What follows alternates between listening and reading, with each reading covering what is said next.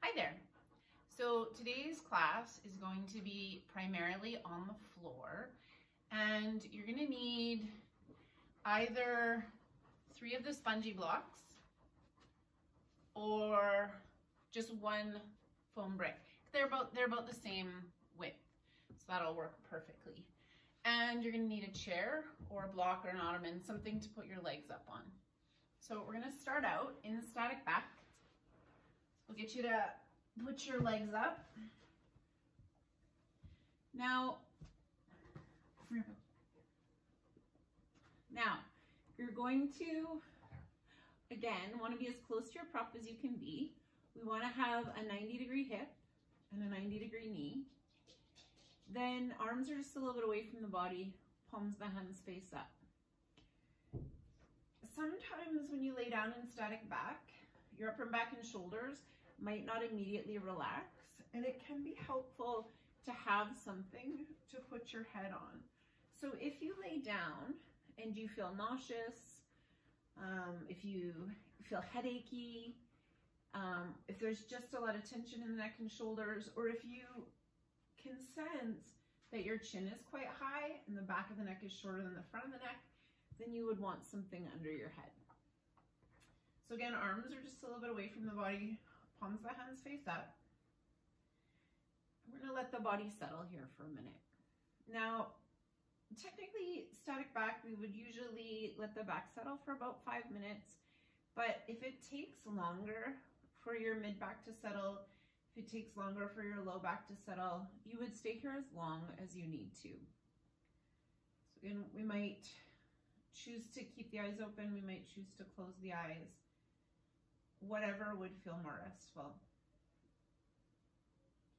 And you simply begin by noticing the feeling of the breath in the body. Every time you inhale, the body expands a little bit. Every time you exhale, the body settles.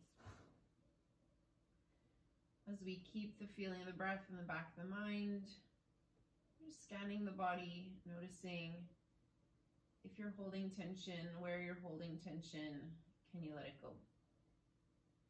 So noticing all the little muscles in your face, your forehead, around your eyes. Observing the little muscles in your lips and your lower jaw.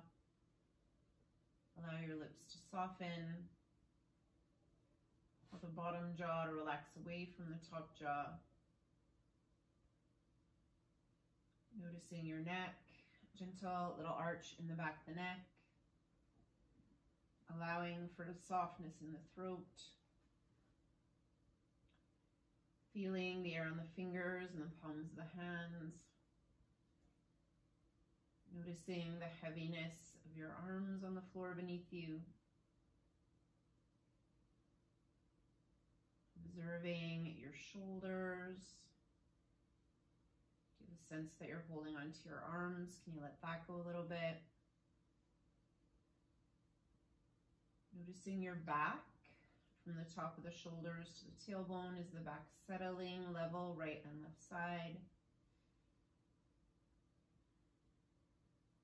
Observing the state of your hips. Is there any sensation in your hip joints? Paying particular attention to the front of the hip or the crease of the hip. Do you have a sense that there's gripping there? Do you have a sense that you want to push the block away or that you're holding your legs. See if you can let that go. Noticing your inner leg, aligned from the knee to the groin. Do you feel like you're trying to hold your legs together or keep hold your legs on the prop? You let that go. Noticing your knees, lower legs, your ankles, any sensation in your feet.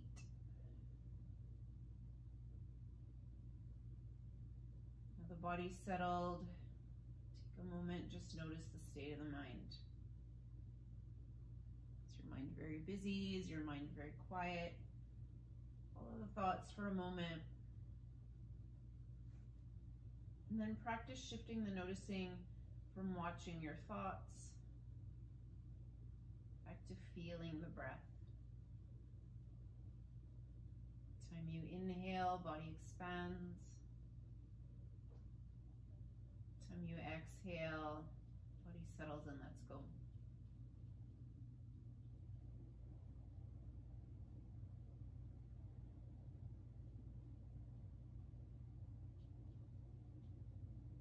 And you can, you could pause the video right here, and hang on static back a little bit longer if you feel like your back hasn't settled. If you feel like the back is settled, we're now gonna move the arms up shoulder height. And it's interesting to observe when you go from sort of a little bit lower up to shoulder height, you wanna notice if your back changes. The sensation in the upper back, shoulder blades changes. And you get you to stretch all your fingers out so you can get flat hands. And then the exercise is you're gonna turn the palms to face down and then turn the palms to face up. So we wanna, this would be very, somewhat easy to do from the wrist. You wanna think about the movement coming from the shoulder. We're gonna do 20 of these. So that's five, six, seven, eight, nine, ten. Noticing if the movement of the hand changes sensation in the wrist, the forearm, shoulder.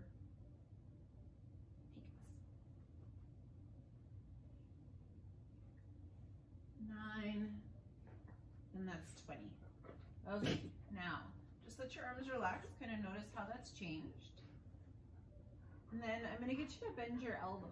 So you're gonna bend your elbows to have a 90 degree elbow.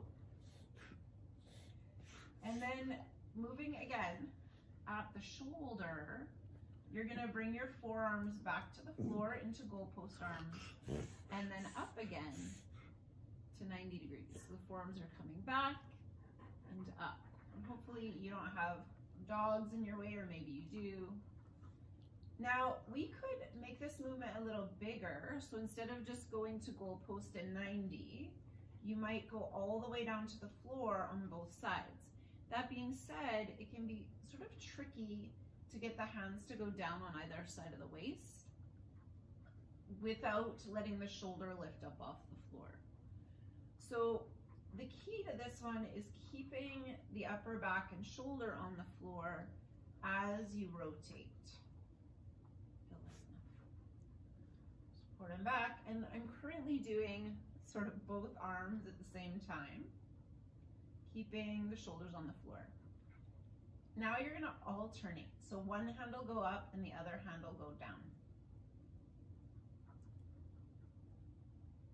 Just notice how that's different in the shoulders, different response in the upper back.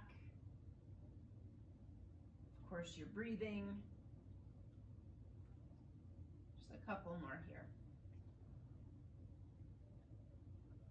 It is not it is never important how big the movement is or what it looks like.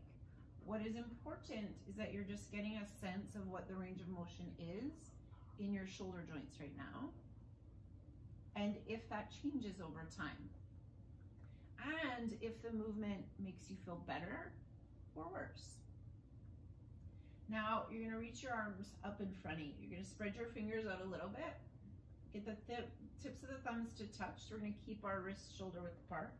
You're gonna push your arms towards the ceiling and then set them back down. So you push your arms, if there was a ceiling tile above your head, you're pushing it up and then you're setting it back down. As the arms go forward and back, the shoulder blades will go wide and the shoulder blades will come together. You want to watch that you are not bending your elbows so if you were bending your, you could, you could kind of fake out this range of motion by bending the elbows. That's not what we're doing. You want shoulder blades wide, shoulder blades together. Arms go up, arms go straight down. Your belly is soft, your jaw is relaxed. And then again, so we started out doing both arms together. Now you're gonna alternate. So you separate your hands a little bit and it's one arm up and down and the other arm up and down. you might notice that you have a little more reach when you're doing one arm at a time. And that is likely because you're letting the ribs go with you a little bit and that's okay. So this can be a little bit of rotation in the rib cage, that's fine. So now we've got a sense that we can get the shoulder blades moving in this way. Then I'm gonna get you to put your elbows on the floor. Again, you go back to that 90 degree elbow and we're gonna squeeze the shoulder blades together and let them relax wide. Squeeze your shoulder blades together, relax wide. And you'll probably notice as I do this, my rib cage wants to pop up a little bit as I, as I squeeze the shoulder blades together and then relaxes as they go wide. You want to sort of minimize that. So we're not trying to move the rib cage. It's just protraction and retraction of the shoulder blades. Shoulder blades knife together, shoulder blades relax wide. The other thing we want to watch again is that the, the head of the humerus or the top of the shoulder is not popping up off the floor too much. You want to notice, can I do this? First things first, can I move my shoulder blades here? And then you want to notice, is the, is the range of motion pain free? And does it feel similar right and left side? One more of those. Then you're gonna let your arms relax. But as you let your arms relax, just notice if it is easier to move your head up the floor, if it is easier to move your rib cage up the floor, has your back totally flattened? Has your upper back changed? I get you to take your legs up off your block, scoot your block away, and just for a moment, lie flat. And maybe, maybe you can see, I know it's hard, I got dogs in the way, but when I stretched my legs out, my ribs popped up. So my back is no longer flat and it shouldn't be. So when you, when you are lying flat on the ground, an arch should show up in your back. If your back doesn't love this, first thing you might try is putting something under the head. And then just pause for a moment. It is incredibly common to have sensations show up in your low back and hips when you lie flat. Just observe how that feels right now. And you wanna notice if the exercises we do make that feel better or worse. I'm just gonna get these out of the way for a moment.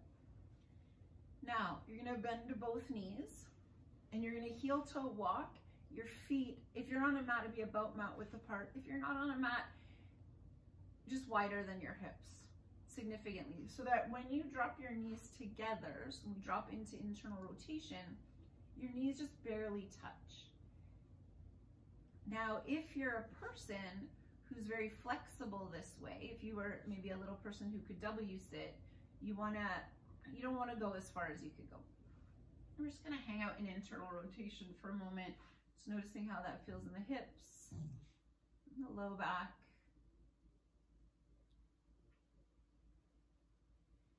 And then we're gonna add a little movement. So you're gonna let both legs go left and both legs go right. So you're gonna windshield wiper a little bit, a little bit side to side. Both legs go right, both legs go left.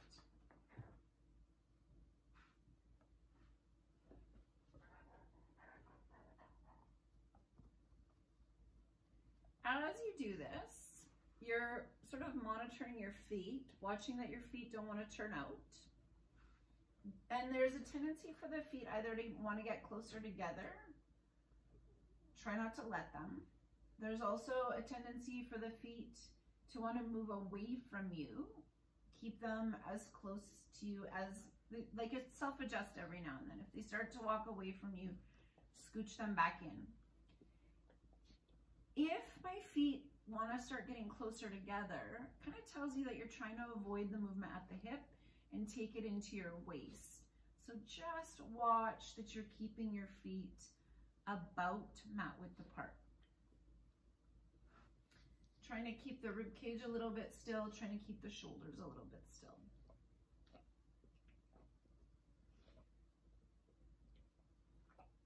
Now legs are gonna come back up through center. Feet are parallel, their pelvis width apart. We're gonna work with a little bit of pelvic tilting. So you're gonna push with your feet, back flattens, pull with your feet back arches. Push with your feet, pelvis tips back, pull with your feet, pelvis tips forward. Again, just noticing how this feels in your low back. Also how it feels in your hips.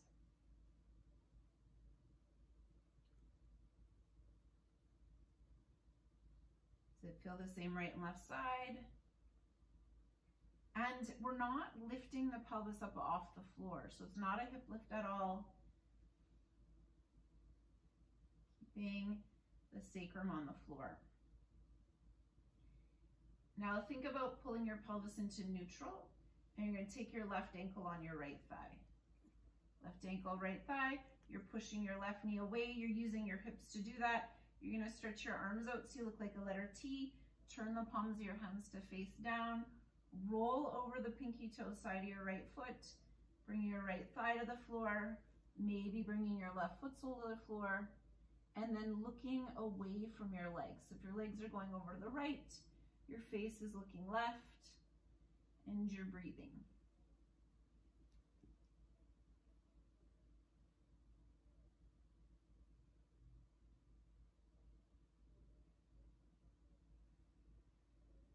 If your legs don't get to the floor, can put something underneath them or just kind of don't worry about it too much. Just find a little bit of tension in the waist with the left shoulder on the floor and hang out wherever you're at. You're gonna bring your legs back up. You're gonna uncross. Just pause between sides, make any little adjustments to your feet that you need to. And then you're gonna take your right ankle on your left thigh. Externally rotate a little bit. Roll over the pinky toe side of the left foot. Bring your left thigh to the floor. Bring your right foot sole to the floor. And again, we might look away from the legs. You're absolutely going to notice a difference in your right and left side. That's okay. In, in the Egoscue method, we actually use twists, so we use rotation to help counter rotation. So if your posture is to say have one hip slightly forward to the other or one shoulder slightly forward to the other, we are using rotation to help mitigate that. Just breathing quietly in and out through the nose.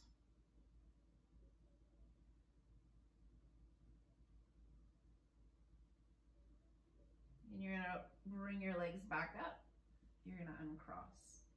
So from here, I get you to roll up just into tabletop, just below shoulders, knees below hips.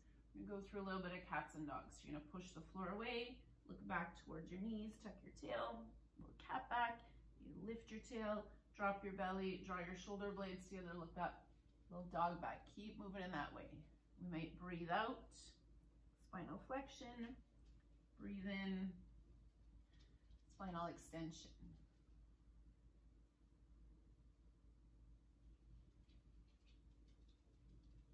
Just like with the pelvic tilts, you want to notice, does this feel the same right and left side of my spine? What parts of the spine feel like they move most easily?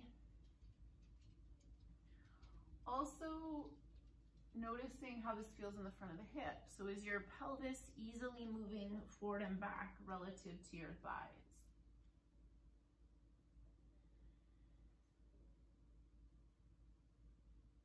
You do one more cat. Really finish that cat back. One more dog. Really finish that dog back. And then I'm gonna get you to lay down on your left side. So you're gonna lay down on your left side. You're gonna make your knees up a little bit. You got a 90 degree hip, a 90 degree knee. Left hand is gonna hold right knee. You're gonna pick your right arm up and reach it back behind you. So again, we're coming into a spinal twist. Three spinal twists today. Just seeing how you feel about dogs barking in your yoga class. Gus probably can't get on the couch.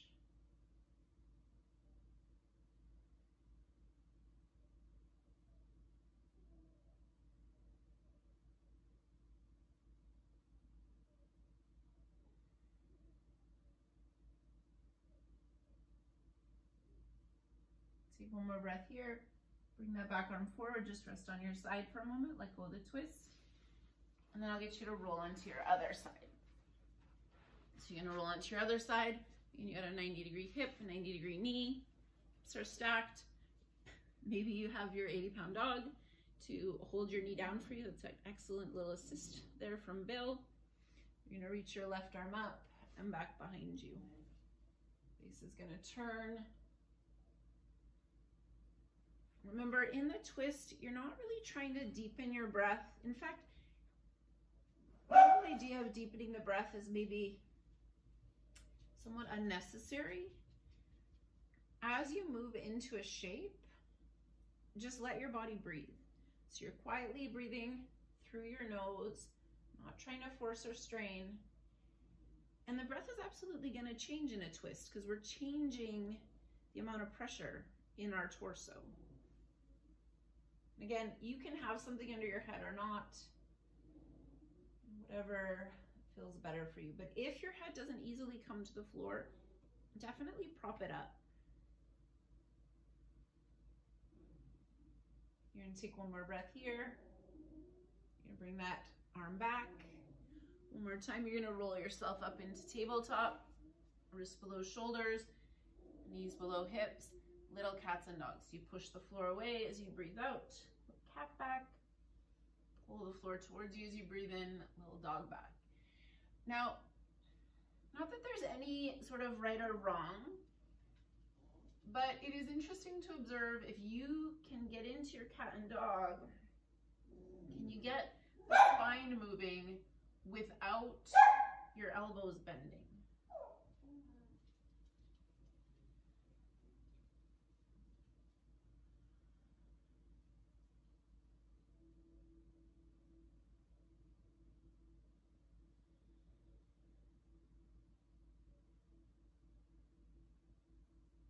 Time you go through cat back, just really finish that cat back.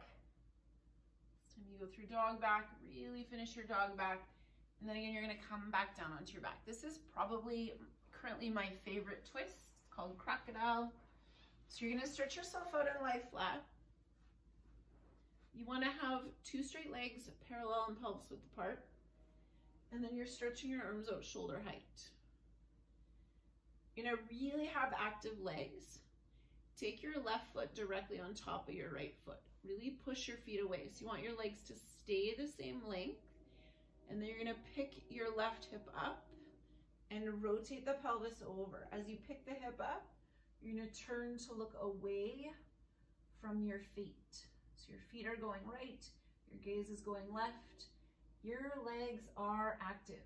So you can really feel the work in your right hip, pressing down into the floor, to help rotate that left hip up.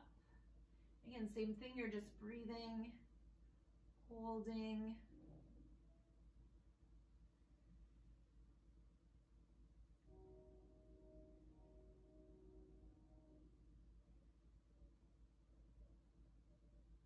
Take one more breath. Roll everything back. Uncross your feet, feet are parallel. Push away, you pick your right foot up, put it on top of the left. Same thing, roll your pelvis over. Really squeeze your feet into the floor, or sorry, really squeeze your shoulders into the floor. Really squeeze that left hip into the floor. You will likely notice one side again, more difficult than the other.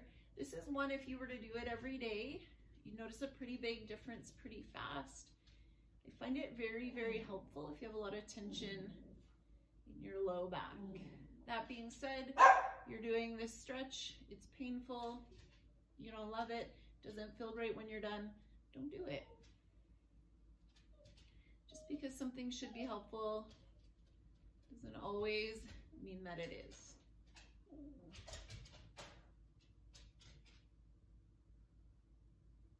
Gus is having a hard time getting on the couch. Take one more breath. Roll everything back. Uncross your legs. Just for a moment, lie flat.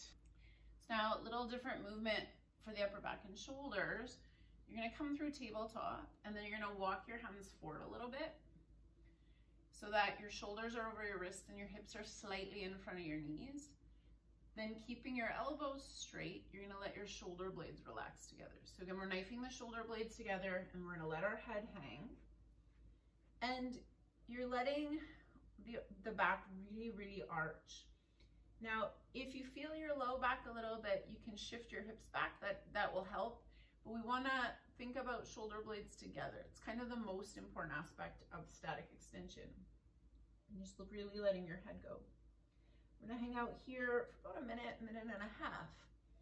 If your wrists don't love this, so if, if you're fine here, just stay here. But if your wrists don't love this, what you're gonna do is you're gonna bring your elbows directly below your shoulders. You're gonna put your hands in the golf club grips. You're gonna fold your fingers and thumbs face up. You can get a little further back.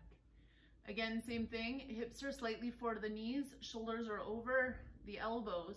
You're letting your shoulder blades relax together. You're letting your head dangle. And then you're gonna try and widen your forearms. Just breathing, relaxing your jaw. Hanging out here. Relaxing the front of the hips.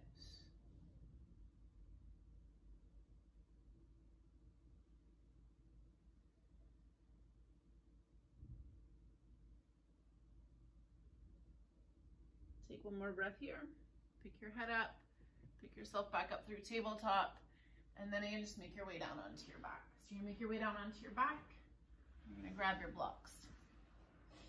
So you're coming into hook line. Knees bent, feet flat. You got about a fist width between your knees, about a fist width between your big toes. Your feet are parallel, pointing straight ahead.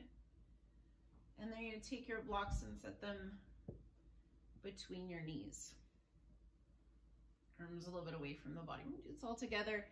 So belly soft. You're gonna squeeze your blocks, relax. Squeeze your blocks, relax. Three, four, we're doing 20 of these. Five, six, don't use your bum. Seven, eight, shoulders stay relaxed. 10, 11, 12, 13, 14, 15, 16, 17, 18, 19, 20. Now take your blocks out without, without really rearranging your legs. Now you're gonna think about your glutes. So those are the cheeks that are not in your face. You're gonna tense your bum, relax. Tense your bum, relax. Three, four, five, six, seven, eight, nine, ten, 11, 12, 13, 14, 15, 16, 17, 18, 19, 20. Now walk your feet together, let your knees go wide. Coming into frog, just hanging out here for a moment. Let your arms relax, your shoulders relax. Breathe. In, in this shape, doesn't really matter how low your knees are. What we're kind of looking at is, are my knees the same height? And is sensation the same right and left side? So we're just trying to find symmetry. And that can take a little bit of a little bit of a while.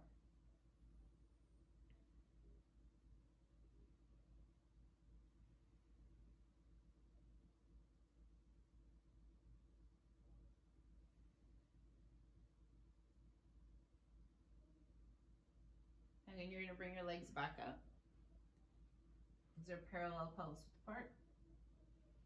Take your blocks, set them between your knees. Let your belly relax, let your shoulders relax against back to knee pillow squeezes. You're gonna squeeze the blocks, relax. Squeeze the blocks, relax. Three, four. You're not trying to crush the blocks. It's just like 50% of your strength. Eight, nine, 10, 11, 12, 13, 14, 15, 16, 17, 18, 19, 20. Take the blocks out, set them aside. And same thing, glute contractions. So you tense your seat, relax. Tense your seat, relax. Three, four, five, six, seven, 10, 11, 12, 13, 14, 15, 16, 17, 18, 19, 20. Go back, feet together, knees wide. Let your legs get heavy. And you may notice second time around that you feel a little more relaxed, that if you feel more flexible. And it physically, you may not look any different, but you might feel like things are evening out. And that is, that is perfect.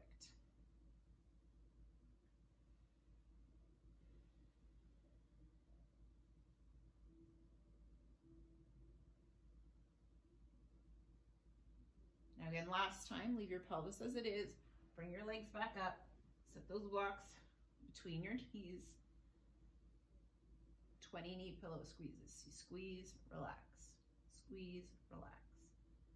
Two, three, four, five, six, seven, eight, nine, ten, eleven, twelve, thirteen, 14, 15, 16, 17, 18, 19, 20. Legs are parallel, they're pelvis apart, pelvis is in neutral. Thinking about your glutes, you're gonna tense your bum, relax. Tense your bum, relax. Three, four, five, six, seven, eight, nine, 10, 11, 12, 13, 14, 15, 16, 17, 18, 19, 20. Now again, last time, feet together, knees wide, and observe. Maybe you feel a little flatter, maybe you feel a little more relaxed. Maybe you do not. I need you to bring your knees together, stretch your legs out and lie flat. So you stretch your legs out and lie flat and just kind of get a sense for how lying flat feels. Your hamstrings on the floor? Does the arch in your back feel reasonable? How are your neck and shoulders? If you don't feel perfectly comfortable, you're just gonna set yourself up in a way that is. So you might put something under your head. You might put something under your knees. You might lay on your stomach instead of your back. You might put your legs up on the wall if that feels good. You might sit in meditation as opposed to laying flat on the floor. You might just stop the video and be done if you got things you want to do. Take a moment, place your body in a way that works.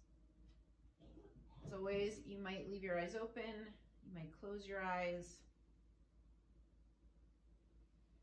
allowing the body to begin to settle. You might choose to watch the breath. Time you inhale, body expands a little bit. Time you exhale, body settles. Soles of your feet are relaxed. And your ankles are relaxed. Your lower legs are relaxed. And your knees are relaxed. Your thighs are relaxed. And your hips are relaxed. Your low back is relaxed. And your middle back is relaxed. Your stomach is relaxed. And your chest is relaxed. Fingers are relaxed. The palms of your hands are relaxed. Your arms are heavy and relaxed. Your shoulders are relaxed. Your neck is long, your throat is soft. Your jaw is relaxed. Space between your teeth, softness in your tongue. Your lips are relaxed. Feeling the corners of the mouth dropping back to the floor beneath you. Your cheeks are relaxed. All the little muscles around your eyes are relaxed. Eyelids resting softly. Feeling the corners of the eyes dropping back to the floor beneath you. Your forehead is smooth and relaxed. Your ears are relaxed. Your mind is relaxed.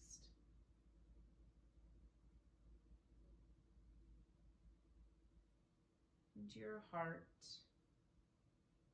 is relaxed.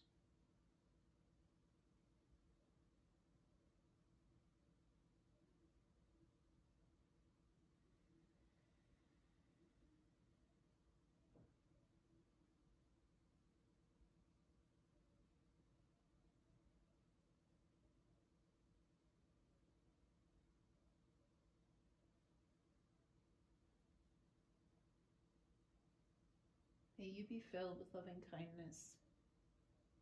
May you be well. May you be peaceful and at ease. May you be happy.